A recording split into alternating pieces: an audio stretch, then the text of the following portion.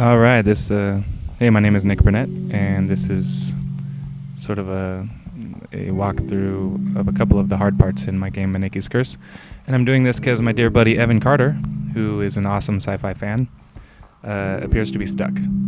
So I think he's already gotten to here. Let's see. There's a part of the labyrinth just before where he's stuck. I'm going to show him a little secret. If he knows where this is, he should try going all the way down real quick. Because there's a hidden door there. Go over here. If you hold the shift button down, you walk faster. I already got this chest, but in this chest is a legendary item. Let's see. So make sure to get that.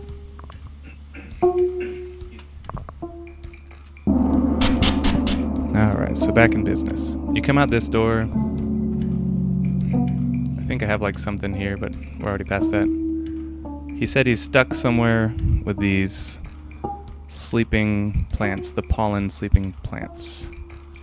I totally understand that because I don't even remember which door is which. But it is possible if you just go one by one. You definitely want to get to here, and I think it's the fourth door.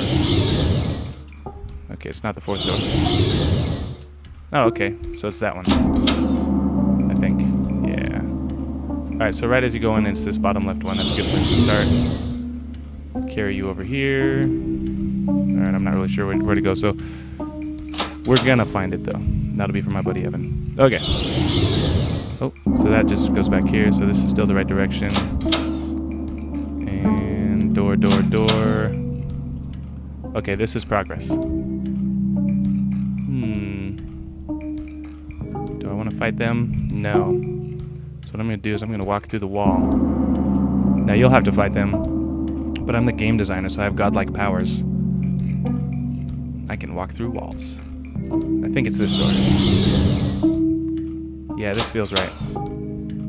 Okay. Oh, by the way, if you check this, pretty sure it's this one. There's an item in there. I don't want to fight you, so using my god powers. Oh, walking around you.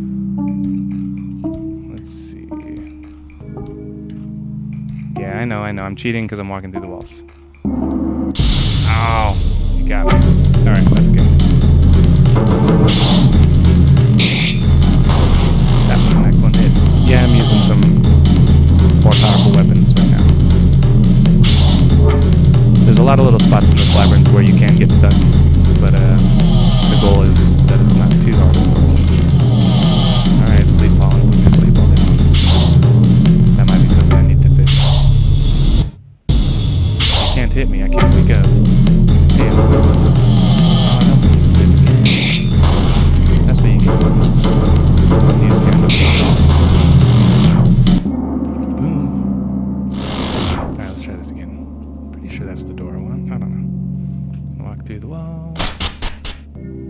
Okay, so this might be a part where he's stuck.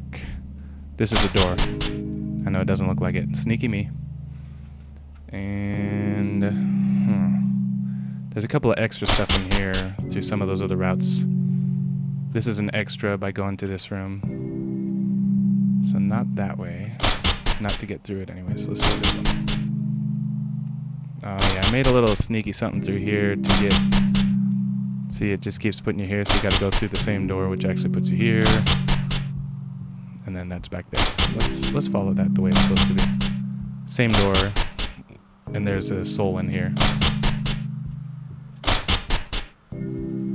So it must be this door.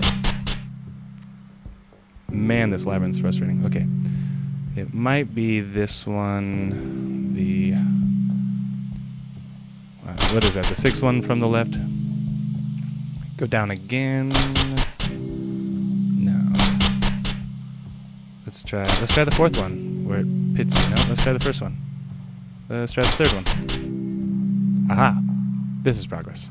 Go down again. I think you go down again. No, it's not down again. Okay, so it's this third one. Up again, because I'm sneaky. And now you're out. Alright, Evan, I hope that helps you. We'll show you that one more time. Down, you're not supposed to go down there because it puts you back here. So when you get to this room with all these doors, because maybe I was just feeling mean when I made this part, third door, and then back up. Sneaky, sneaky.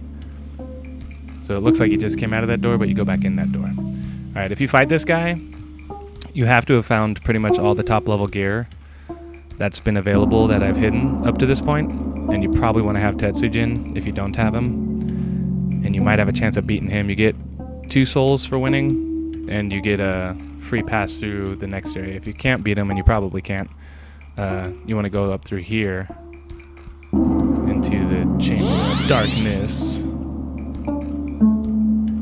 gets dark. All right, that's what I got. Anyone else have any uh, issues? Drop me a line. If I can't walk you through it, maybe I'll make you a video. Thanks for watching.